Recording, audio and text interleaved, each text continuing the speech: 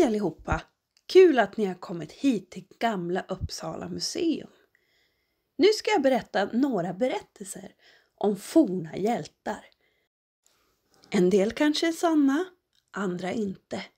Det vi vet är att de berättades av bland annat vikingarna för länge, länge sedan.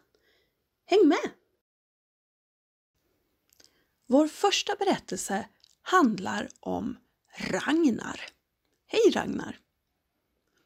Ragnar fick höra en dag att han skulle slåss mot den farliga besten lindorm. De är jättegiftiga.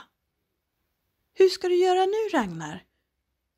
Ja, ett par riktigt luddiga byxor så inte ormen kan bita igenom dem. Smart Ragnar! Han slogs mot ormen och han vann. Efter det så fick han namnet Ragnar Lodbrok som kan betyda luddig byxa. Bra Ragnar! Det här är Lagerta. Hejsan! Hon tyckte jättemycket om att slåss. Men alla sa åt henne att hon absolut inte kunde bli krigare som killarna. Självklart blev Lagerta jättesur. Men på en sak. Hon kom på att om hon klär ut sig till kille så kanske hon kan vara krigare precis som dem. Hon gjorde det och slogs och alla tyckte hon var jättebra. En dag så åkte hennes långa hår ut och alla såg att hon var en kvinna. Men då gjorde det ingenting för hon hade visat hur modig och duktig och snabb hon var på slagfältet. Så hon blev en av världens mest kända sköldmöer, alltså en kvinnlig krigare.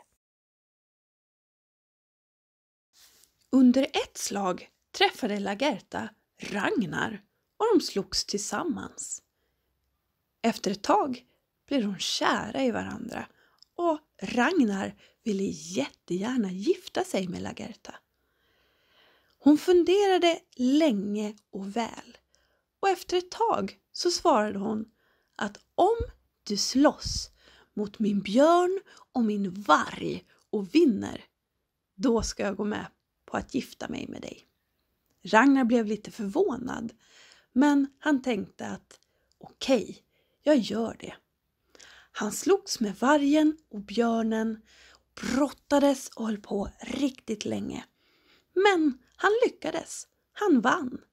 Och Ragnar och Lagerta gifte sig. Tyvärr så höll det inte jättelänge. De var bara gifta några år. Men de var vänner resten av livet.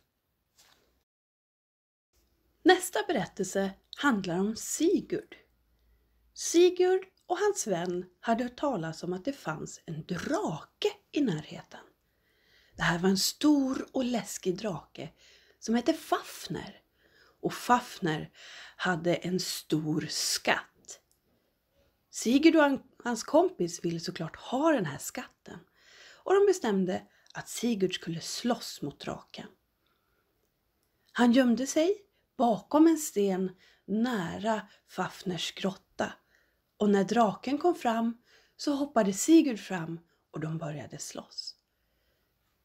Mitt i kampen så kom det en stor droppe blod från draken som landade på Sigurd och han fick lite i munnen.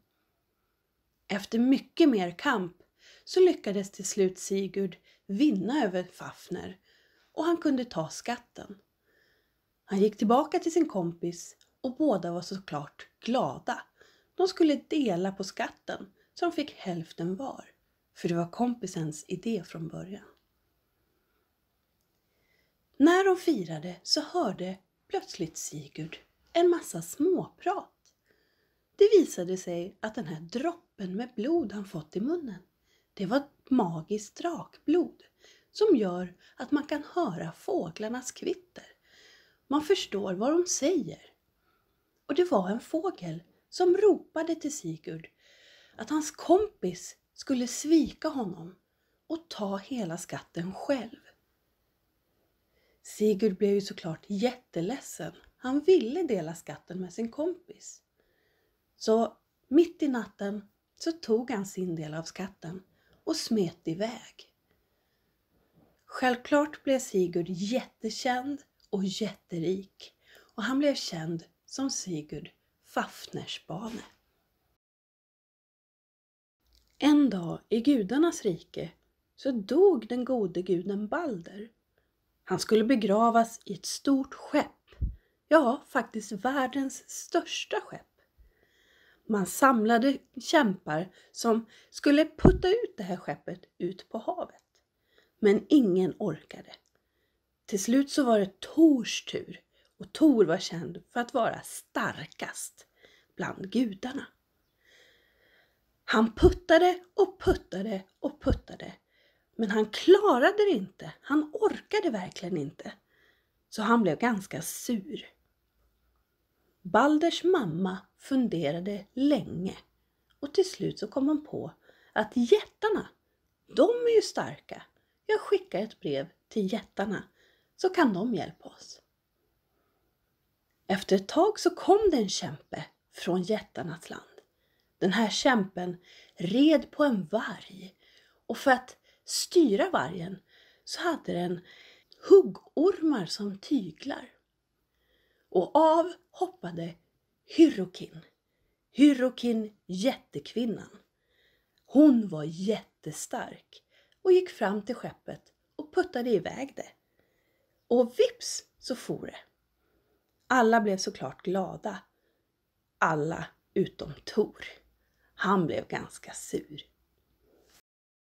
Nu har ni hört berättelsen om Ragnar, Lagerta, Sigurd och Hyrokin.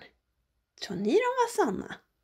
Ja, fundera på det och ha en riktigt bra dag på Gamla Uppsala museum. Tack för mig!